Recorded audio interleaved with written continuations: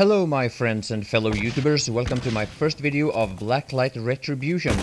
This is a free-to-play first-person shooter for PC gamers. And yes, you heard that right, this game is free to play. All you need to do is register and download the game and then you go. So the first thing that I want to mention about this game is, as I stay away from that airstrike, the graphics. The graphics in this game looks really nice. Now, in my video here, as I play, I have the graphic settings almost all the way down to low. Not really all the way down, but uh, fairly far down. So I have disabled the DirectX 11, Bloom, Ambient Occlusion, Distortion, just to mention a few of the things. In this situation you see two guys are trying to capture our flag and I was able to prevent that from happening. That's part of uh, this gaming mode. I think there are seven different gaming modes you can play in this game and this one is called Capture the Flag. So what I want to try to focus on in this first video is the default weapon that you get uh, once you just start the game and you haven't leveled up at all. Let's just take a quick look at the settings first. As far as I can tell, all the necessary changes that you would want to do to your gameplay is accessible here, unless you want to have a higher or lower value than the game allows you to set.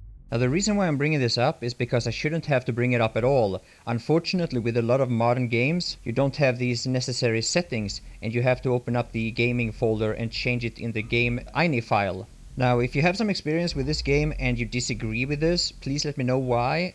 Otherwise I'd have to say so far so good. Where I am right now is the training facility and it is recommended that you check this out the first thing you do. It is a quick tutorial that only takes a couple of minutes I'm not gonna get into it too much, uh, you only need to follow the instructions, it's fairly simple. What I want to show you now is the first weapon you get, the default fully automatic assault rifle. I'll just fire an entire clip to the wall here. That's the way the weapon behaves without any spread or recoil compensation.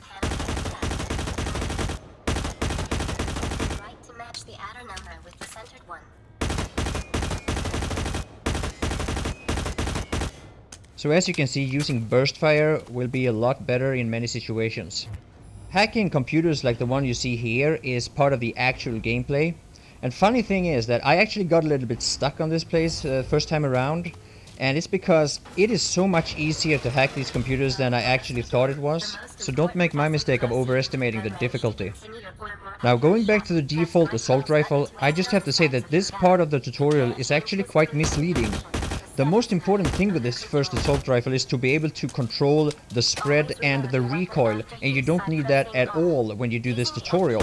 So unless you are fairly new to first person shooters, this target practicing isn't gonna do you that much good. Now you also get a grenade as part of your default gear and if you make a perfect hit on an enemy that also has the default gear, it will take him out. Let's just make sure. Now the thing about the grenade is that you can't just hotkey it. You have to first equip it and then you throw it by clicking on your fire button. Now there are a few more essential things to learn about this game and some of it will be explained by the tutorial, but for the rest of this video I'll try to focus on actual gameplay, starting right now.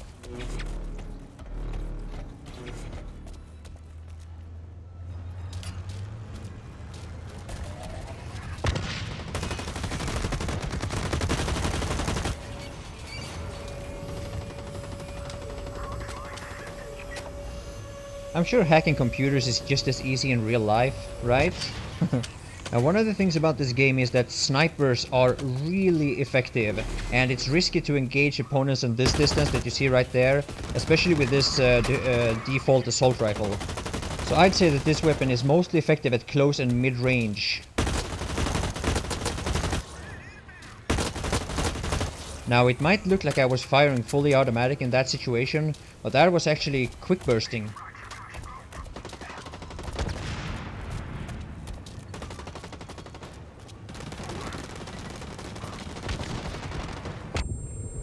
And ouch! That grenade took more than 100 HP. Now, even if the regeneration is fairly quick, you only get half your hit points back. For the rest of it, you need to use one of these depots, and this is also where you can get all the other equipment that you purchase with experience point that you earned throughout the game. And in this video, I believe I'm like level 9. I've had the game for a couple of days, and I am still struggling a bit with how this uh, assault rifle behaves. Oh yeah, as you can see.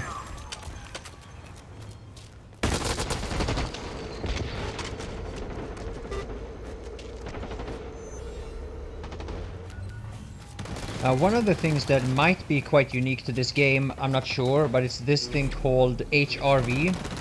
It will allow you to see through walls, enemies, and the other important stuff like uh, flags, mines, stuff like that. You cannot fire your gun when you use the HRV and it has quite a long cooldown time, but if you quickly tap out of the HRV mode and you don't use it to its full length, you don't have to worry about the cooldown at all.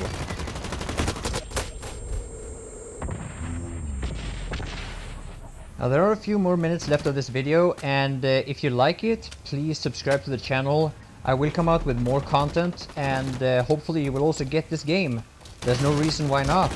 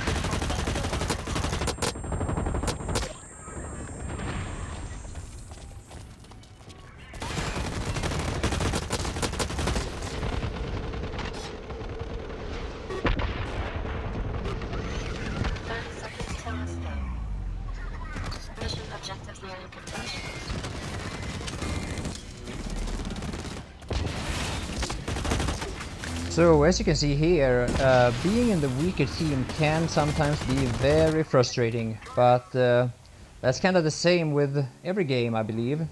But who knows, maybe I'll win the next round. So uh, thanks for watching, peace.